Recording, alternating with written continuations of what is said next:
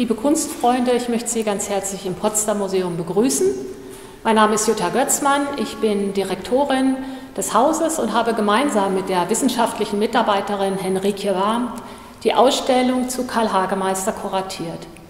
Sie trägt den Titel Das Licht, das ewig wechselt, Landschaftsmalerei des deutschen Impressionismus.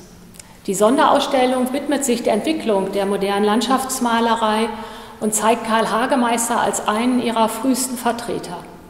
Die Ausstellung ist ein Kooperationsprojekt mit dem Museum Georg Schäfer in Schweinfurt und dem Kunstmuseum in Ahrenshoop.